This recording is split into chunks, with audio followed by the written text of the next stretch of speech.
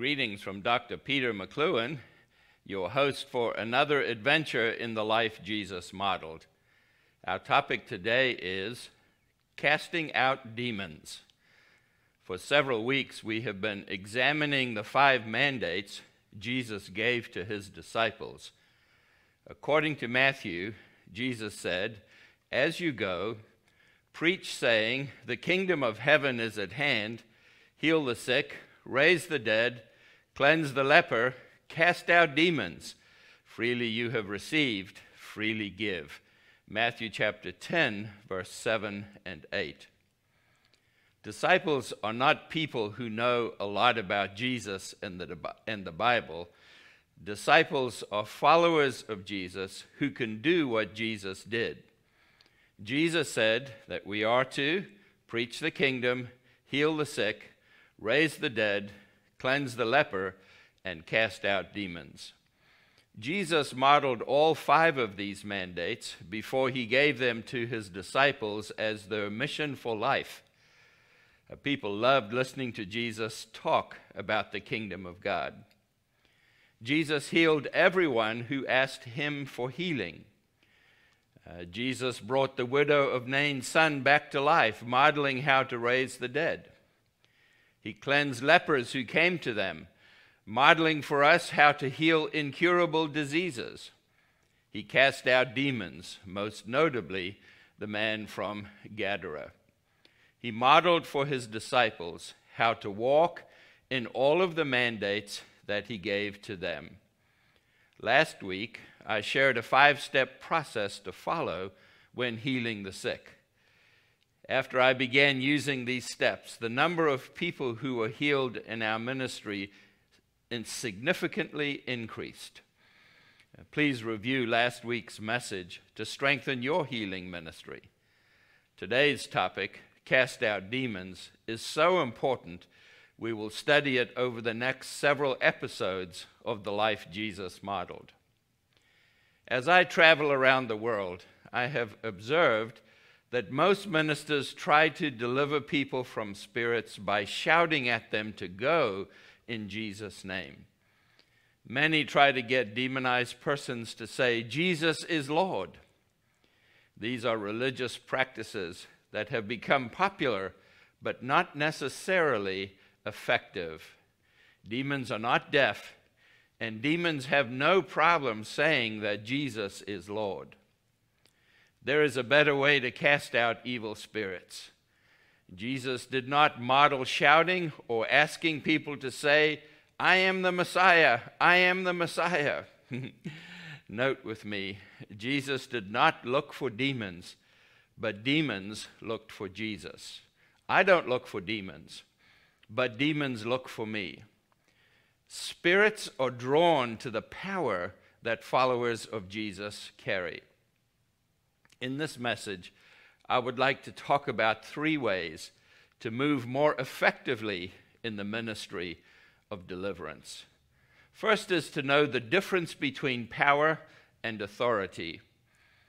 We move in power when we heal diseases, but we move in authority when we cast out evil spirits. Remember, Jesus called together the 12 disciples and gave them power and authority over all demons and to cure diseases. Luke chapter 9 and verse 1. Then we read, Behold, I've given you authority to tread on serpents and scorpions and over all the power of the enemy, and nothing shall hurt you. Luke chapter 10 and verse 19. The sons of Sceva failed to cast out evil spirits because they were not walking in the authority that Jesus taught Paul to walk in. We read in Acts chapter 19 and verse 15 the evil spirit answered and said to these sons, I recognize Jesus and I know about Paul, but who are you?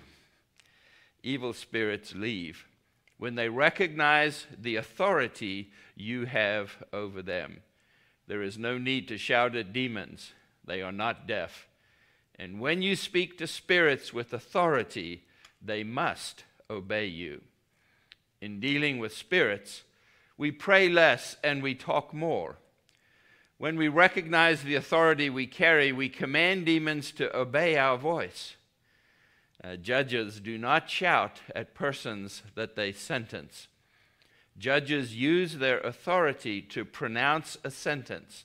They give an eviction notice to someone who is trespassing. Uh, judges command what is to be done to that person. And in deliverance, it is our job to take authority over spirits and to evict them. The apostle John said in 1 John chapter 3 and verse 8, the Son of God appeared for this purpose, to destroy the works of the devil. This means we never need to ask God if it is his will to evict spirits from people. Second, it is important to understand God's order of created beings. When we do, then we realize why we have authority over demons and why demons seek to possess humans. This is what we read in Psalm verse Psalm 8. What is man that you take thought of him, or the son of man that you care for him? Yet you have made him a little lower than God, and you have crowned him with glory and majesty, and you have made him to rule over the works of your hands you have put all things under his feet. Uh, Psalm 8, verses 4 through 6 in the New American Standard Bible.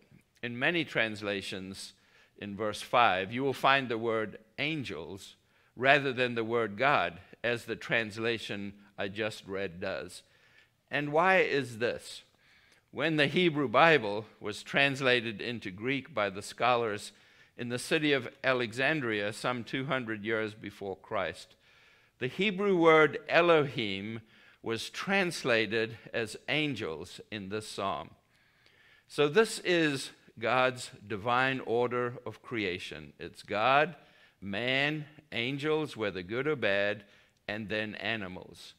And spirits occupy humans uh, try to occupy humans to manifest the rebellion against God and take over that the power we have been given by God Himself. And this brings me to the third aspect of deliverance that I'd like to talk with you uh, about in this message. Can believers have evil spirits? Now, demons love it when people argue if believers can or cannot have a demon. We have authority to command spirits to leave because we were created as higher beings than angels.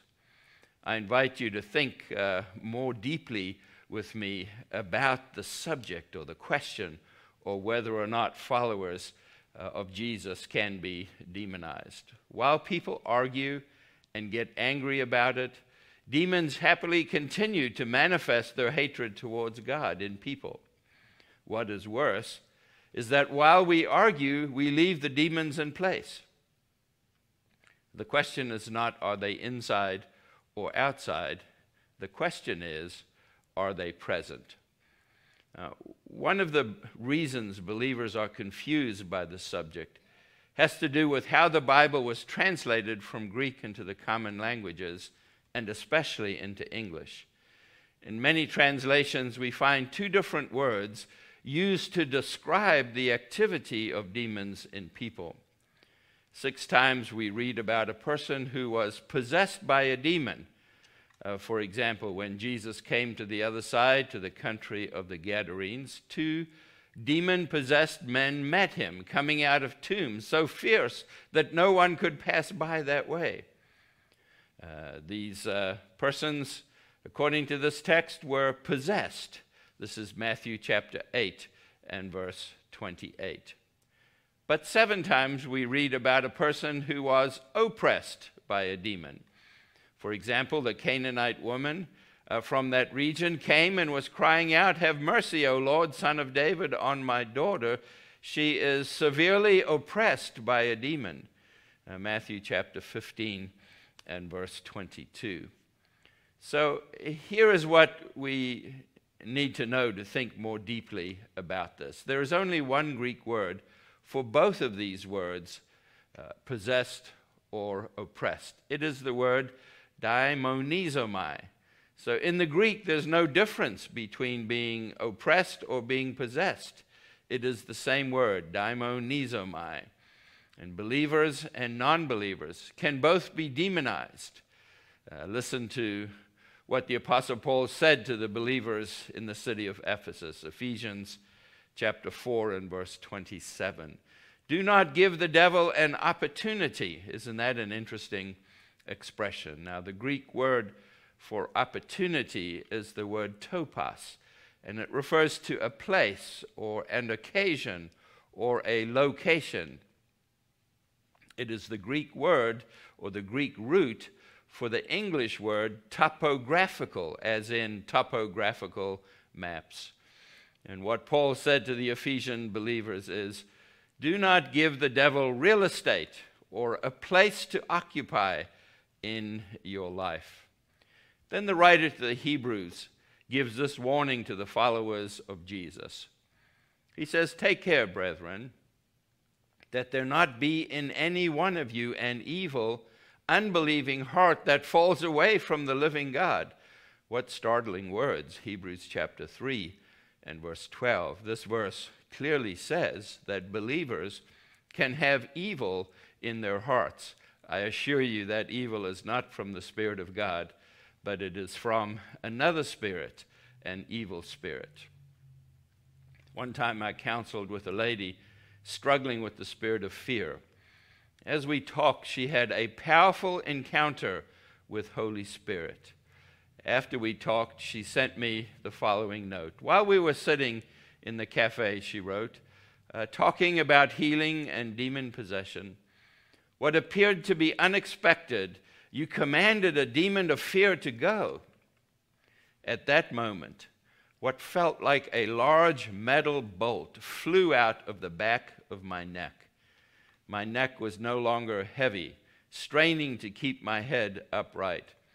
The pain at the base of my neck, where that heavy bolt was embedded, has not returned. What a powerful story.